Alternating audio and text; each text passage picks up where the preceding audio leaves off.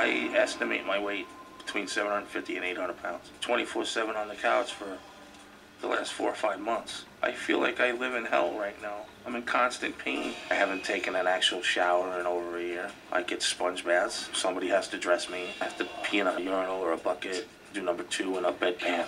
You know uh, that you're killing yourself here. Tell me, what are you doing? I'm getting myself basically to death. You're fighting for your life here. You are absolutely out of control. My greatest fear is the heart attack. There's no way that they're going to get me to the hospital and save me. Well, that was Big John. We met him back in season two of the Dr. Phil show. Sadly, two months after taping that show and after successfully losing 100 pounds, John passed away from complications with asthma. A tragic ending like John's is Pauline's worst fear, of course, and her son Dylan's. But it doesn't have to end that way. Now, my next guest weighed over 700 pounds and has lost an incredible 400 pounds and is still losing. Take a look. This is hard.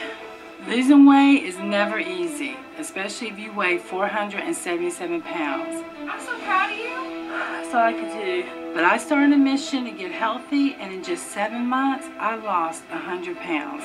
Say with it, push. Mm, it was hard work. I'm craving something. Look at that. And there were times I didn't think I could do it.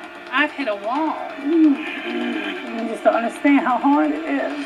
I know what she needs. Don't let them rush you. I'm sick of it. But with the help of my friends and my team of experts, I am conquering my lifelong battle with my weight.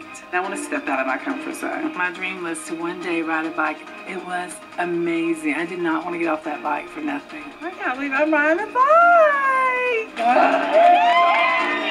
Good girl. Yeah.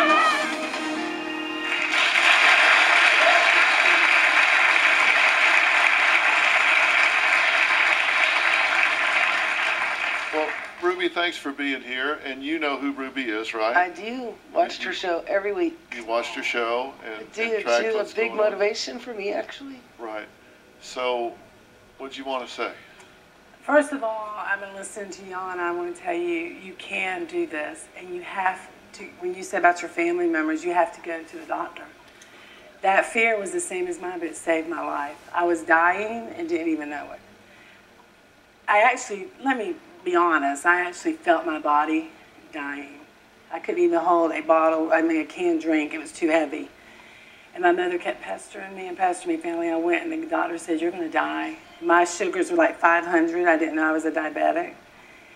And he says, If you don't do something now, you're going to die. And I thought it's meant for me to die. Whatever I was supposed to do here on earth, I must have done because I can't beat this. I never have beat this since I was 13. I've tried every diet.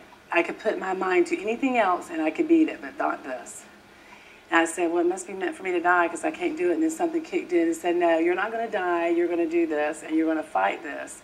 And you're going to find out the truth behind what's going on. And that's when I went on a journey to find out the truth. You've lost how much weight so far? I'm a little bit over 400 pounds and it has been no surgery. No surgery. And I, no surgery.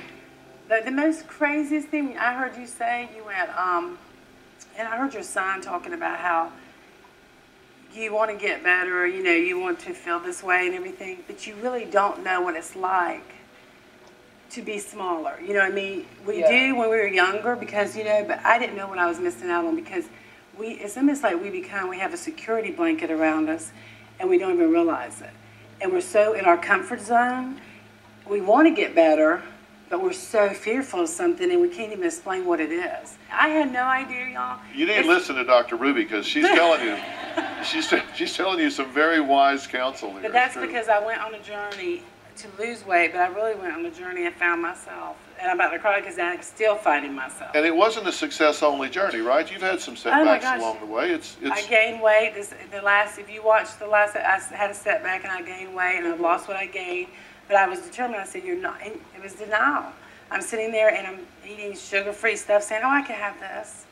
No, you can't. You know, because we're not normal people. We're not normies. There's, you know, Tenny, one of the therapists that was on my show would say, there are normal people, you know, and you know, and then there's not, and we're not normies. We're going to talk about that, and we're going to hear some more wisdom from Ruby. We'll right back.